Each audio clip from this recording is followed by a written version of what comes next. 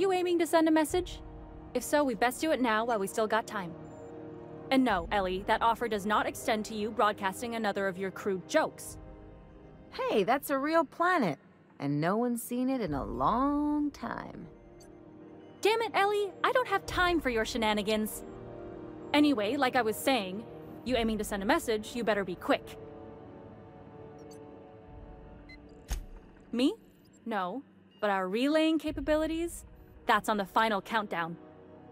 We're going offline in three, two, one and a half. No. Wait, I've lost track of my weeks. Maybe it was 36 or. Uh, sometime dire soon. Our primary relay station soon to be occluded by a gas giant. Happens every 40 years or thereabouts. The event's forecasted to last for months, during which we'll lose signal to the station. That signal's part of how Groundbreaker stays autonomous and independent. Much as I'd love to hear fewer corporate jingles, this would be bad. We've got backup auxiliary relays, but the one currently in orbital range went offline some months ago. We can't spare people for routine maintenance. Sure, I mean they got their own relays and all, but they'll only send along messages the corporations pay for. And then they charge folks to send messages back, often more than they can afford. And none of that money goes to the groundbreaker. Just tightens the board's grip on our throat.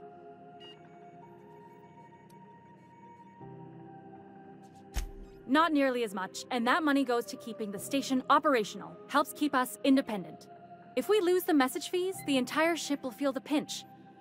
Before long, the only place for people to trade words and goods will be on Terra 2, right under the board's control.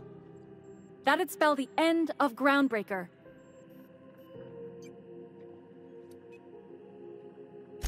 Well, we wouldn't be utterly and completely blacked out, but we'd lose the majority of our com traffic for sure. Ships and colonies on Terra 2 need a clear line from their communications towers to the Groundbreaker for the transmissions to make it through.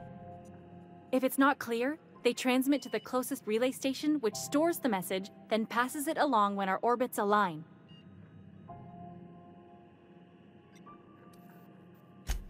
That they can and they do, but only between ships owned by the same corporation. No corp will authorize sending messages through a ship owned by a rival.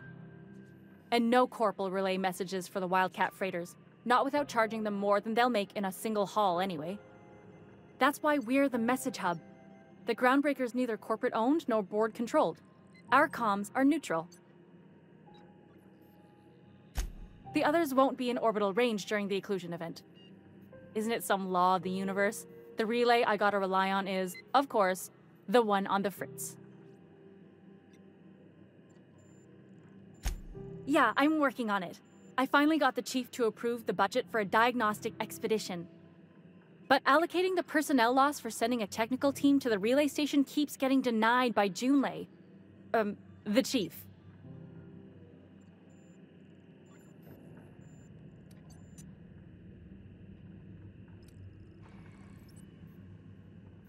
We don't know why it went down or if it's even a hardware related issue. Getting a team out there takes time and money, neither of which we have readily on hand. And we do have multiple auxiliaries, just they won't be in orbital range during the next few months. Our backup station will be.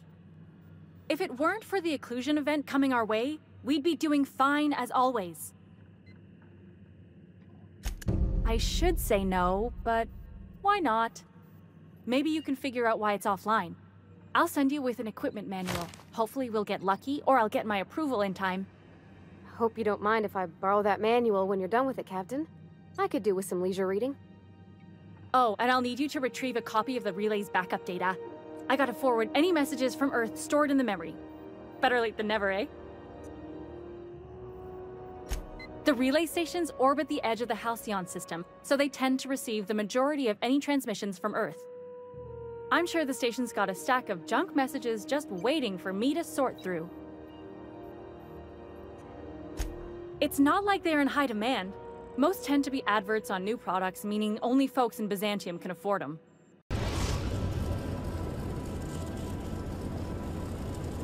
Told him. Oh, ha ha ha. That tickles. How odd. No, don't desist. I think I might like it. Further data collection is required for accurate assessment.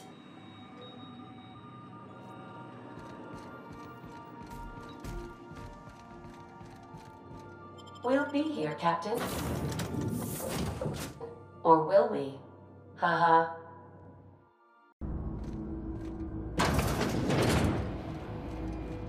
It's a touch different from the ones I've seen. Shouldn't be so hard to get it patched up, though. Perfect spot for some peace and quiet.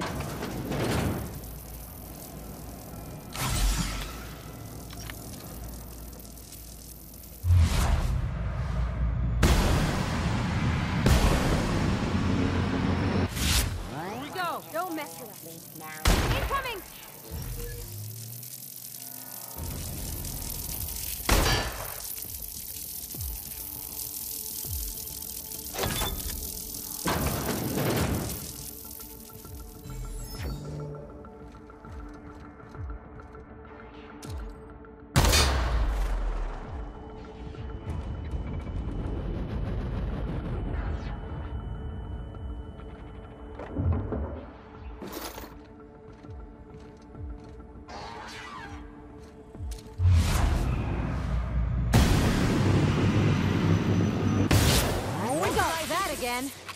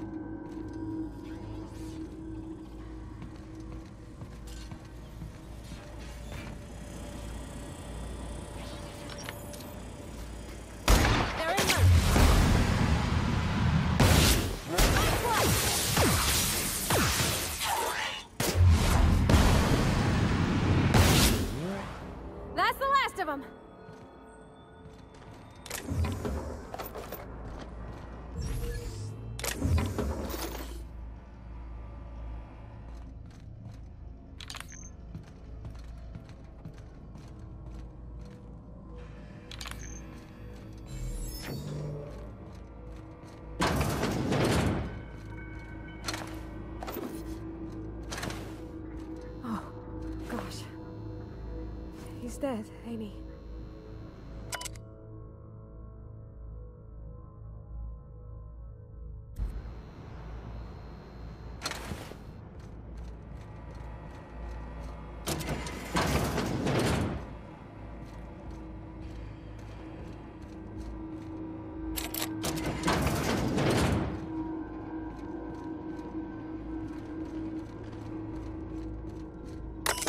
you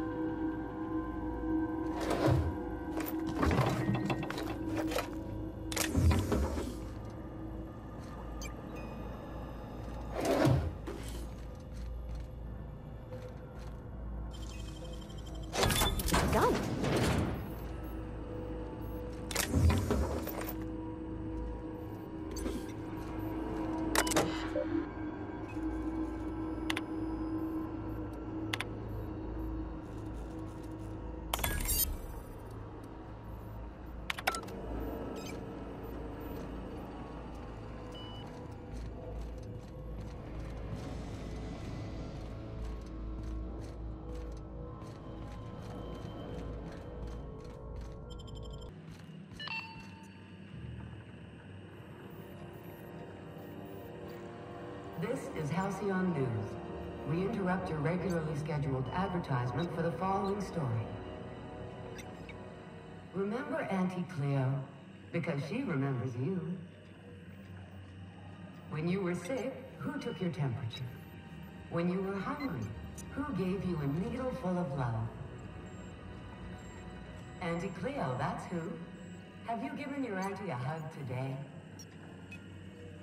You've been listening to Halcyon News, your mandated duty as a good citizen of Halcyon. My comm center already got an update ping from the backup relay. I trust everything went smoothly. Thanks. Hmm, that's odd. The only messages in the queue are encrypted ones. Looking at the transmission logs, the relay hasn't received a single unencrypted message in the past 36 months. Must be on account of some new security red tape. Well, whatever's the cause, the board and the Earth Minister will see it sorted. Thanks again for saving my derriere. I secured quite the payment authorization for you from Chief Junlei. Try not to spend it all